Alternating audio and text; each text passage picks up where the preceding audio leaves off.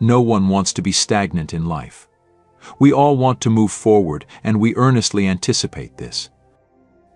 This is great as the Bible says in Proverbs chapter 4 verse 18 the path of the righteous is like the morning sun, shining ever brighter till the full light of day. This shows that after some time God will want us to move to a better place than we are right now. Write this in the comment section God is preparing me for my next level. This video shows you three signs that God is preparing you for your next level. Sign 1. Challenges come your way. Challenges are a stepping stone to another level. You can't go anywhere without passing through challenges. It's like a law of life. Remember that before you move to a new class or move to a different level, you have to take tests or exams. And if you want to pass these tests or exams, you have to prepare for them for instance Job. When God wanted to increase him, Job passed through the worst situation that anyone could pass through. He lost his wealth and his children, he was sick, his wife was irritated and told him to curse God and die, and his friends tried to blame him for what was happening. Amazing. It was like the entire earth was against him, Job had a very hard time, just like many of us are right now. It's like the world is against us and we are like, God, are you even there? And it seems God is all silent on us and we have to go through everything on our own. Sometimes it's our marriages or relationships, our health, finances, and other areas that just seem so tough all of a sudden. We shouldn't be discouraged. It's a sign that God is preparing you for your next level. Sometimes these challenges may not even be external, they might be internal like a sin we are struggling with. For example, we may be struggling with certain addictions and we are trying our best to overcome them. Do you know sometimes you might be living with a sin that may not be so obvious to you or may not look so bad, it may just look to you like a little compromise that doesn't hurt anyone. Then after a while you begin to feel bad about these sins and you just don't want to partake of it anymore and you're like struggling with it, trying to find a way to end it. It's not just you.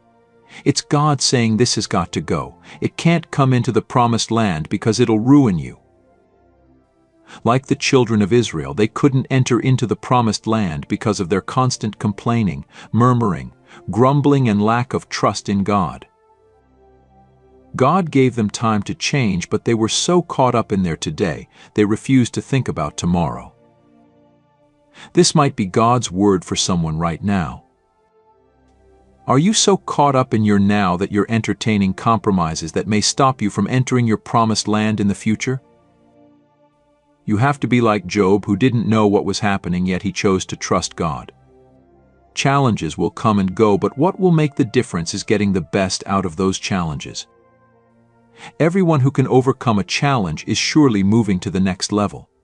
Because Job held on to the end, God gave him twice what he had before and he lived long enough to enjoy it. This might be the season where God wants to take you to the next level. Don't run away from those challenges.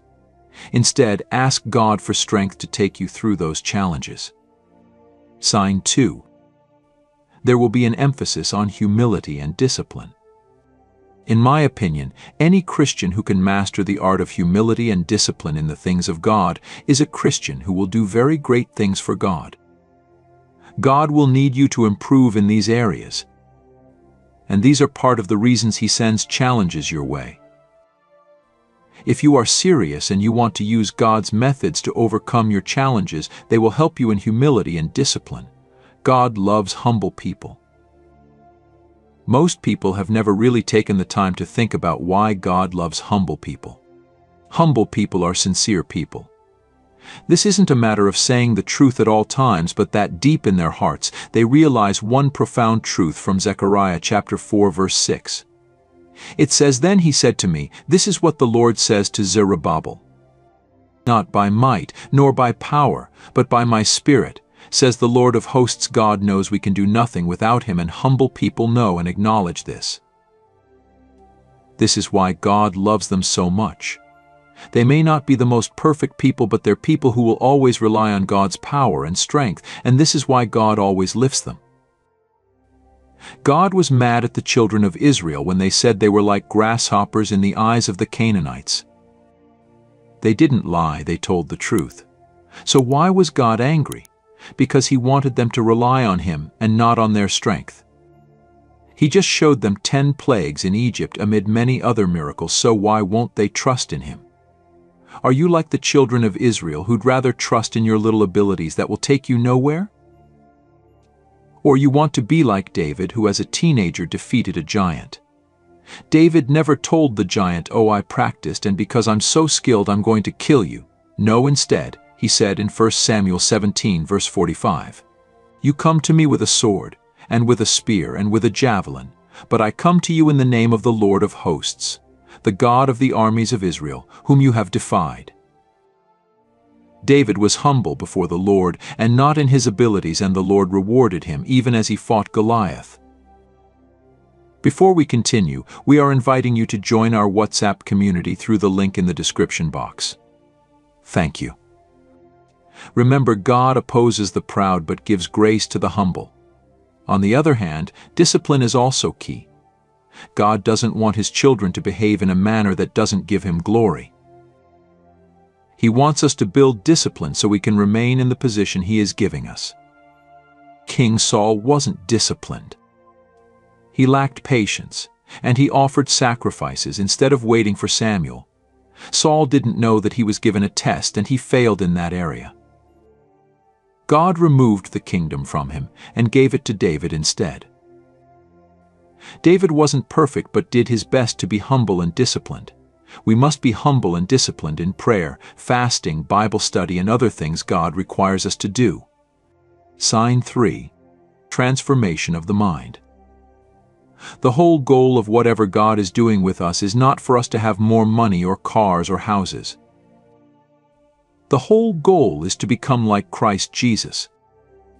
Philippians chapter 2 verse 5 says, Let this mind be in you which was also in Christ Jesus. This is the way God can have the highest glory when we all reveal Jesus and glorify Him. Imagine if we were all like Jesus. Then it would be heaven on earth. There would be no stealing, lying, poverty, or sickness everyone would be perfectly fine just seeking the will of God. We need to grow to be mature in Christ. Romans chapter 12 verse 2 says, Don't copy the behavior and customs of this world, but let God transform you into a new person by changing the way you think. Then you will learn to know God's will for you, which is good and pleasing and perfect. The Bible emphasizes changing our thinking patterns. This is called the process of transformation. We need to have the mindset of Christ Jesus. It is only when we have Christ's mentality that we can step into the next level that He has for us. When you keep talking down on yourself and saying things like, I'm not good enough, I don't deserve this, and all of that, it keeps weighing you down. You usually say what you think. So when you say you are not good enough, you mean it. You must be careful to think of yourself the way Christ thinks of you and usually this is what God will begin to do if He wants you to move to the next level. God knows the importance of our minds in moving us forward. This is because God will not do anything except we allow Him to do it. He has given us the power of choice so we can limit God, even if He wants to move us forward. For this not to happen, He will begin to transform our minds so we can see the bigger possibilities and align to our next level consider the children of Israel who were in bondage and God wanted to release them. He had to prepare their minds knowing fully well that if the opportunity comes, they won't take it if they keep seeing themselves as slaves. God had to demonstrate first to Moses by showing him various signs before he could lead the people out.